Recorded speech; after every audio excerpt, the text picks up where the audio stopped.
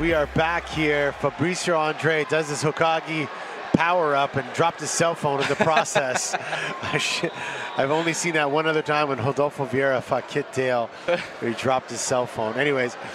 His best power up yet. Yeah. Fabricio Andrey, 2023 European champion, 2021 world champion. This guy's got all the accolades you can think of. Yeah, one of the most exciting competitors representing Melqui Galvão Jiu-Jitsu from Manaus, Brazil, state of the Amazon. Uh, Hokage, just a just a beast, and you know one of the things that makes him so exciting is his well-rounded game. He can take down, he can pull guard, he can sweep. You see flying triangles, you see uh, you know just amazing passes. The Hokage's got it all.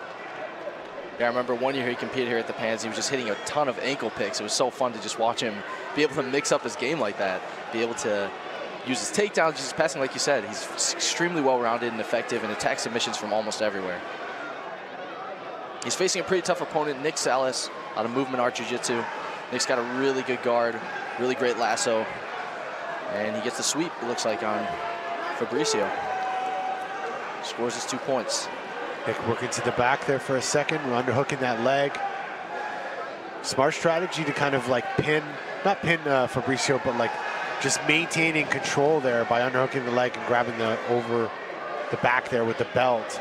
Not letting Fabricio start his momentum and, you know, trying to sweep back. Fabricio's so good in this position where he's got the lapel fed. He comes up on a lot of single legs from here. He yeah. did it the Europeans in the final against Alex Sodre. That was how he scored his points in that match. And look, he'll probably look to do that again with that lapel grip.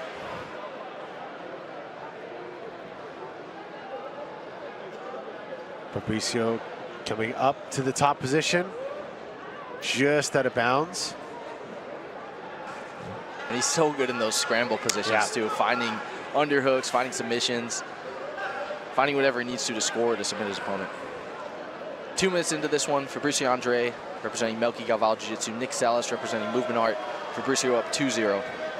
Excuse me, Nick up 2-0 on Fabricio. I could be wrong, but I feel like Nick is was at one point a training partner with Mikey Musumeci. Yes. And uh, helped kind of. Uh, I believe got his black belt from Mikey. That's right. Yeah. In the last few years, so. Also know, did some training with Marcelo Garcia. There you go. Oh, nice little roll out there. I couldn't tell if that was the collar choke roll. Now he's got to watch that ankle pick. Yeah, and now Nick going on in a single. Man, I'm very impressed with Nick Salles in this match.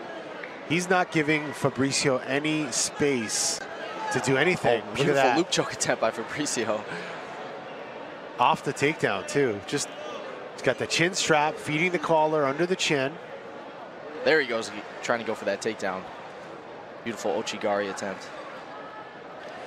He's, look, he's looking at the, the, the scoreboard like, man, I'm not getting these points.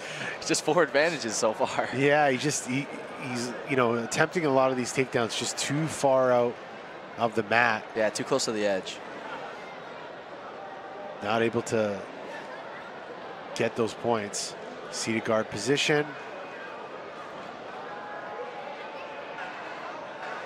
Again, we talk about the dynamic uh, game in general of Fabricio Andrey. Don't be surprised if he's maybe throwing up a flying triangle or double ankle pick. It looked like he was going for like a dummy sweep there. Yeah, great at wrestling up, standing up on single legs and double legs too. Beautiful little step through pass by Nick Salles. Great job there. Another loop choke attempt from Fabricio. Yeah, it's, he's uh, keeps dropping his head, and mm -hmm. Fabricio's got the collar, so there, there he goes again. He's got to be careful there.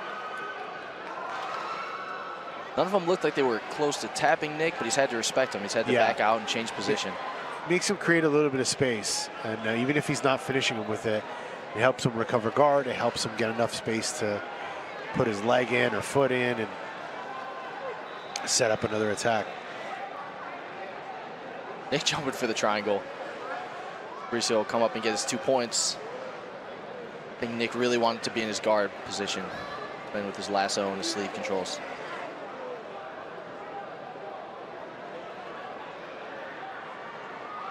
Fabricio doing a great job of hiding that elbow.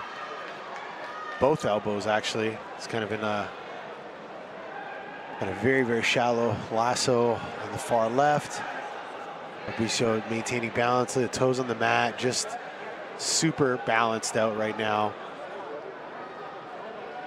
Yeah, it's hard to attack when Fabricio's in a posture like this. Yeah. Not there's not really an option for a De La Riva. Triangles and omoplatas are much more difficult with that tight elbow knee connection.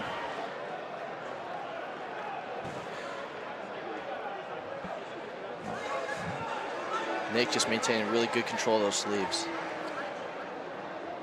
Referees uh, calling penalties for both. Great to see the referees actually, you know, really enforcing this and you know pushing the athletes to to fight. You know, and I understand there's you know there's a lot of strategy involved, a lot of tactics involved, and especially when it comes to open guard play, it's not very easy. But uh, yeah, we you know at the end of the day they have to be fighting for position, not just holding.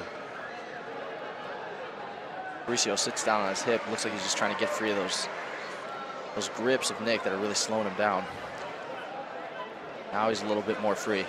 And, and this is where uh, Fabricio tends to shine when he's got a little bit of space and he can start getting, you know, start moving quick and looking for the back. And Nick's Nick on an armbar there. Fabricio's definitely got to respect that. He's doing a good job pinning Nick's legs to the mat. Trying to get his left elbow free. Nick connected that uh, guard pass attempt to the armbar counter beautifully. Yeah, very, really very smooth. creative submission attempt from Nick Salles. And again, sometimes it's not um, about the attempt, but it's about the attempt setting up other opportunities. So even though he wasn't able to really capitalize on the arm, he was able to, you know, create space and prevent Fabricio from passing.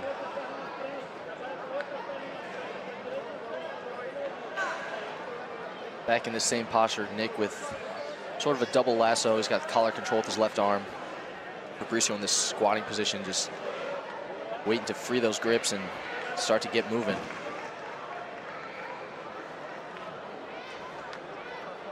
Three thirty left in this featherweight black belt adult division match. Fabricio Andrey, Melqui Galvão Jiu-Jitsu taking on Nicholas Salles, movement art.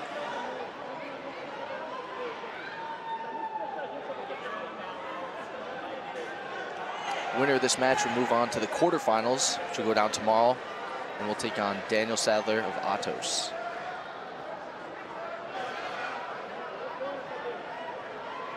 Three minutes left. Fabricio Andrey up by four advantages. Sc- uh, score tied 2-2.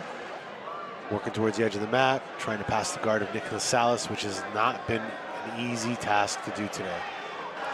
Fabricio, one of three Melqui Galvão Jiu-Jitsu athletes competing in the black belt adult divisions. We also got Diogo Reis, Brenda Larissa. All those competitors are always, always fun to watch, always attacking for the subs, and always putting on a show.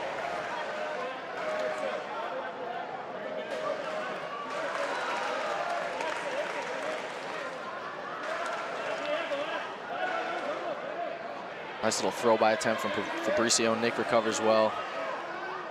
Nick looks like he just has a really hard guard to pass. Yeah. Does a great job with the grips, keeps his knees so tight to his chest. Fabricio with a nice uh, kind of stomp drag pass there, but Nick uses it as an opportunity to kind of scoop him up into half guard there. I'm super impressed by Nick Salles. Just been able to transition from counter to counter, position to position, and you know dealing with the division favorite pretty easily here today. He's, he's had a lot thrown at him. He's countered everything. Yeah, Fabricio's the number one seed coming into this, like we mentioned, 2023 European champion, 2021 world champion, 2022 Brasileiro champion. Fabricio Andrey is highly accomplished, and it's not easy to control him the, in this manner.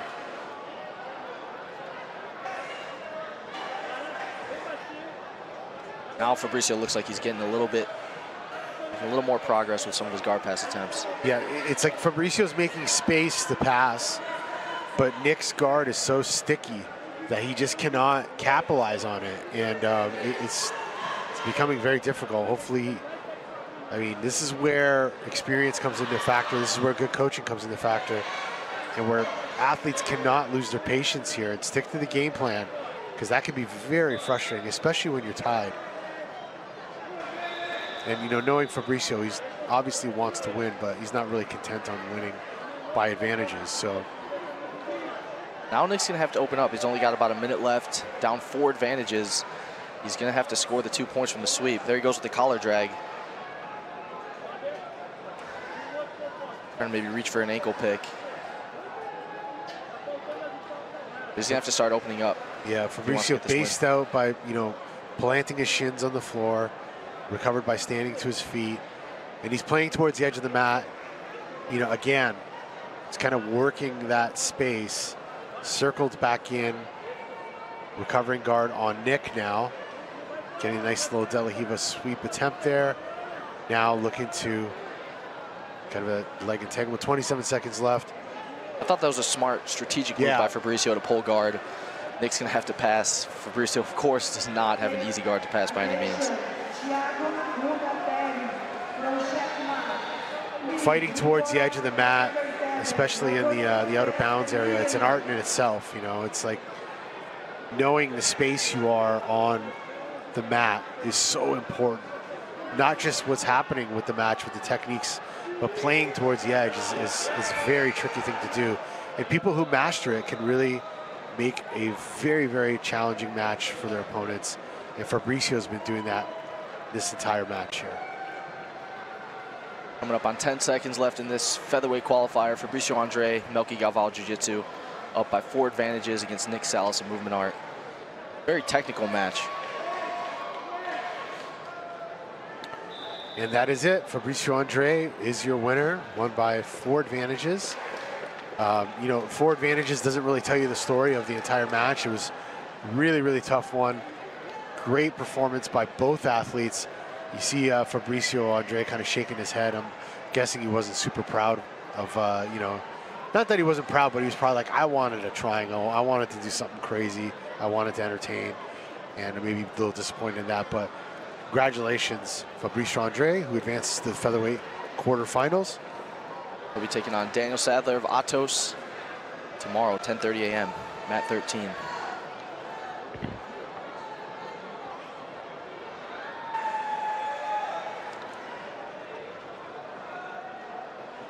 Let's take a look at the replay. Uh, beautiful stack, or like just controlling pass attempt there by Nick. A lot of scrambles earlier on. Beautiful little flying triangle attempt there by Salles. Took a page out of Fabricio Andrey's book. And then uh, Fabricio with that stomp leg drag pass. Love that pass. Just didn't.